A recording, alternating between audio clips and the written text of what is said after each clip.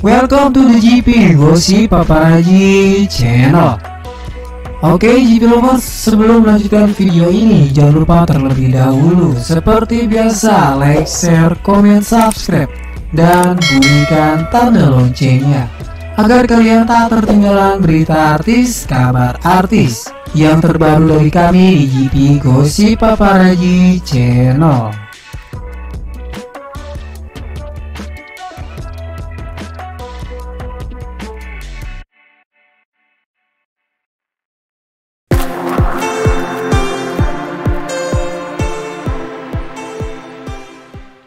Honor nyanyi ratusan juta, terkuak alasan Lesti Kejora tetap betah tinggal di rumah sederhana.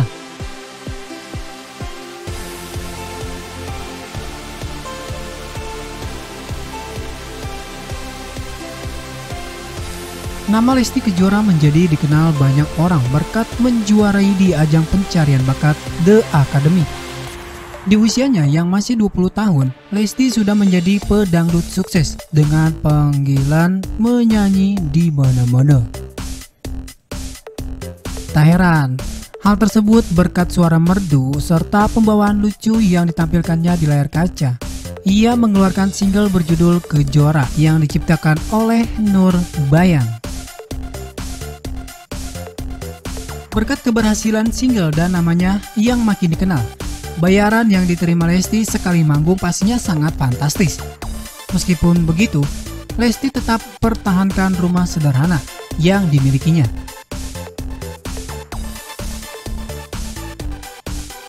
Yuk, kita lihat penampakan rumah dari penyanyi dangdut cantik ini. Honor ratusan juta.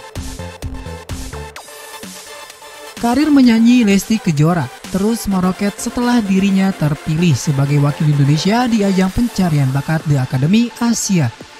Dan akhirnya, ia keluar sebagai juara kedua. Maka tak dipungkiri, jika honor menyanyi Lesti yang tak main-main sekali manggung.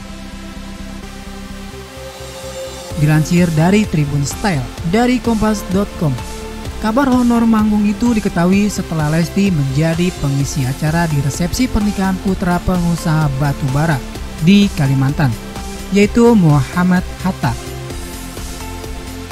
Beredar foto yang berisi daftar honor para penyanyi dan nama Lesti ada dalam daftar tersebut dengan honor mencapai 300 juta rupiah.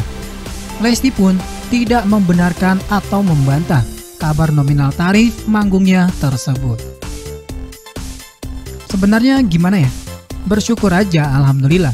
Mudah-mudahan rezekinya nanti berkah buat Dede.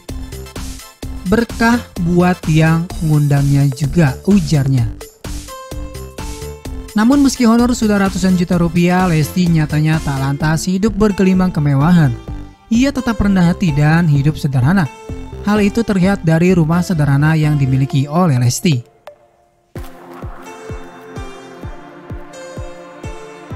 Seperti apa potretnya? Berikut ulasannya.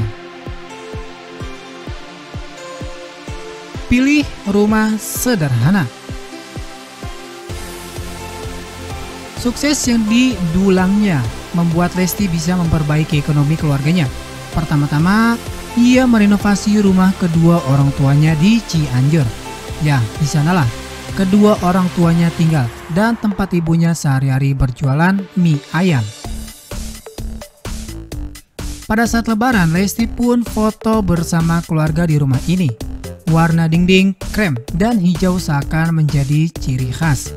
Kesederhanaan rumah ini tidak menjadi penghalang kebersamaan dan kebahagiaan Lesti. Rumah yang di Tangerang Namun karena kesibukannya yang lebih banyak berada di Jakarta, Akhirnya ia memutuskan untuk membeli rumah di kawasan Tangerang.